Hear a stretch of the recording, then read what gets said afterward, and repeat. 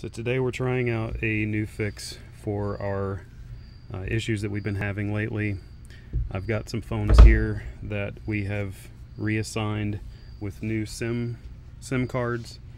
Uh, again, anecdotally, we had some situations where I had two phones, not these two exact phones, but this is just for demonstration, where I had one phone that was running really slow with the EPTT and one phone that was running just normal and they both had identical firmware, build number, and AT&T EPTT um, application version numbers, but one was running fast, one was running slow.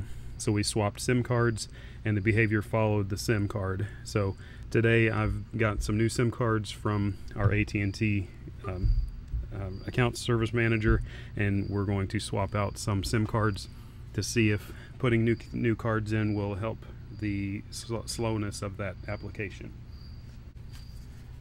So we're going to start here with this one that's the LR Control Analyst.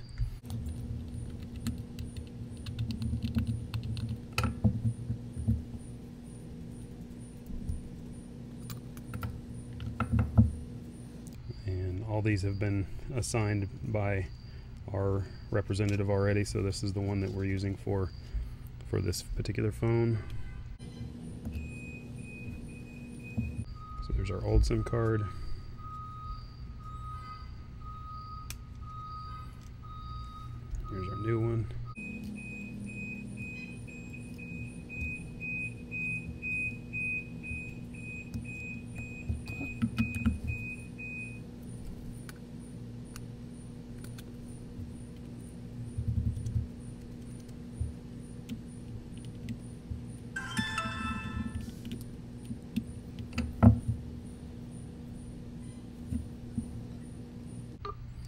Okay, I'm going to click the center button to start up the AT&T EPTT app.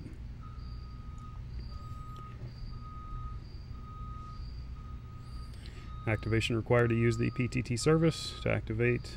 Um, so we'll click yes to activate now.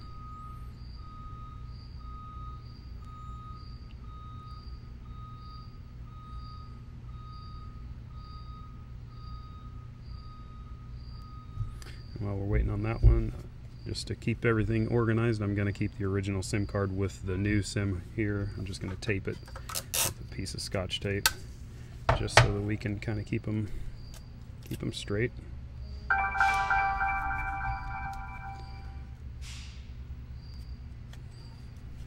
right, so that one that one is with the one marked control analyst. Okay. So immediately I'm leaning towards this not fixing the issue because normally I could just click the scroll over button on one that is working and it would immediately accept. So I'm going to click no for the tutorial. We'll wait just a few seconds for it to come up. Now again it's working fast right now but even the initial part that we saw in this in this uh, demonstration that would be included in the launching the app and getting it running because that's kind of been the problem all along.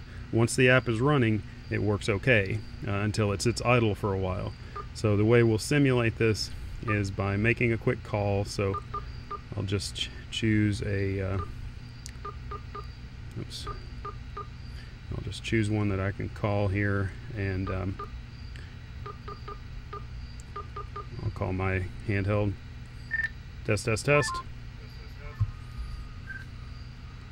Test, test, test. Okay, so we got a call through, so the, that part is working. So we're going to do a power cycle here.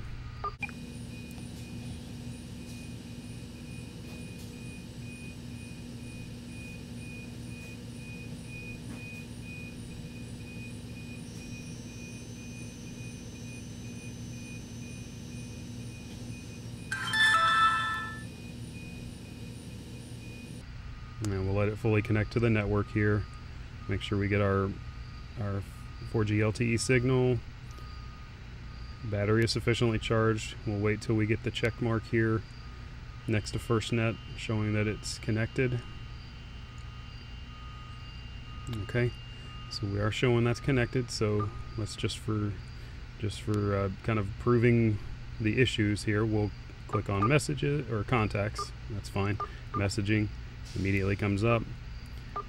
Phone immediately comes up. Camera immediately comes up. Uh, see, clock comes right up. You can navigate in the clock. Calendar immediately comes up. I can navigate it initially, no problem.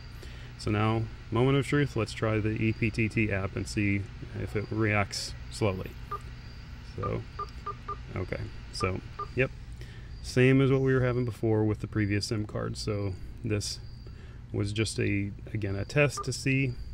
So at least initial reaction to this, it's not showing that it's going to go any faster using the uh, new SIM cards. So it was worth trying uh, since we were having some behavior that was following SIM cards and it would not necessarily be on the device. So uh, another suggestion that was perhaps it's a contributing factor would be that there could be some kind of back-end settings on the SIM cards themselves. Um, we are doing a call today with Kodiak, the, the company that handles the PTT portion of these these devices. So hopefully we'll get some some answers through that that call today. But again, I just wanted to demonstrate this on film so that we could at least record the reaction of what was happening and, and it does not appear that swapping that SIM card has uh, resolved any of the issues at least with this first device that I'm trying. Anyway, thank you for watching, and if you have any questions, please drop it in the comment section below, and I'll be glad to answer any questions I can.